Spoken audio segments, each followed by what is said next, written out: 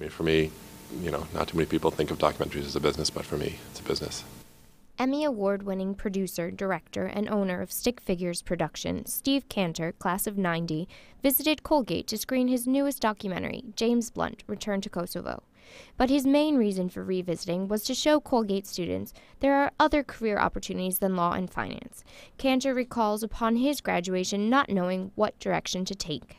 It just didn't occur to me that there was any option in creative fields. And so now that I'm in it, you know, I still Colgate obviously holds a place in my heart since I spent four years here. And so when I came back the first time, I could see like the kids were like really interested to see that someone like me was having a career in film and television. And so I feel like uh, I've, I've hired a lot of the interns now to work for me, a lot of Colgate students as interns.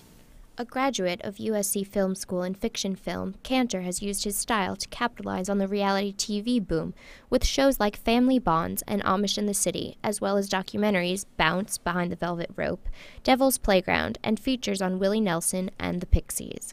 Try as much as possible to take my cues from the narrative and scripted shows that I really like. And that's primarily what I watch, is scripted shows.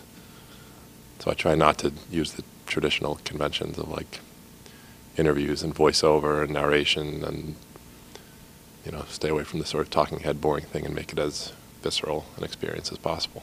His advice for students interested in a career in entertainment? Very, very tough to break into the industry, so I'd say find a place where you want to work and call that place and don't stop calling and say, do what I did. Just say, you're here, you're in town, you're hungry, you want to work, you work for free. Just do whatever you can to get in the door. Watch out for Cantor's newest show, Base Jumpers, on the Discovery Channel, and documentary on PETA, I Am an Animal.